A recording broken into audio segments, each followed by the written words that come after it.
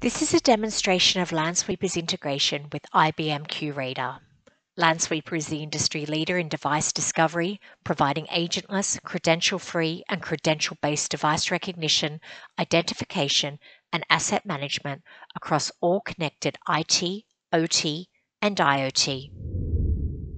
First, let's install the application. To install an application, go to Admin.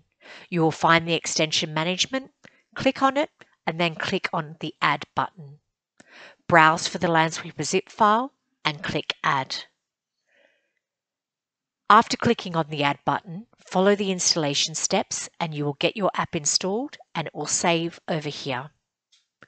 Once the application is installed, you need to refresh your browser. Once the browser is refreshed, your application will be available here. Click on the application and you will see the configuration page pop up. Your account is not configured yet, so you will get this page. Now let's click on the Lansweeper account. Fill in the application name, fill in the Lansweeper identity code, and the proxy details. You need to provide IP or host name with HTTPS and the respective port number. If your proxy needs username password, then you can enable this option and you will enter the credential here. After completing this required information, click on the Authorized Lansweeper credential. It will authenticate all of your Lansweeper credentials. Once all of the Lansweeper details are correct, it will then populate the Lansweeper site. For all options, if you click here, you will see the Site Lansweeper site associated with the identity code. Once you select any site, it will remove all options. Then you need to provide a keyword authentication for your instance and click on Save button. It will now authenticate. Once this is done, you will see this landing page where you will get all the details of your Lansweeper application. Your Lansweeper application name, the poll interval, and the site selected. You also have an edit and delete button. You will also finally see a configuration successful message. When you click on this message, you can edit.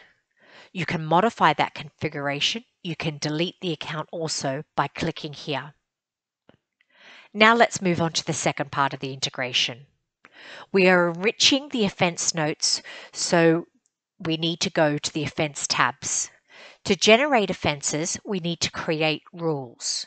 So when the rules trigger, this offense will then be generated. To create rules, we provide we have provided inbuilt rules for Lansweeper. Clicking on the Rules tab, you need to select the Lansweeper Ops group. Here you will find that inbuilt rules you can modify and also enable them. Once you enable the rules, you will find that the offense will be generated. So to view all the offenses, you need to go to the Offenses tab and you will see all of the offenses from here. Based on IP or MAC address of the offense source, the notes will be populated automatically.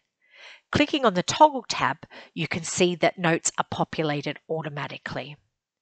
In cases where notes are not populated automatically, the user can force them through the Lansweeper context manually through the Lansweeper Context Info button.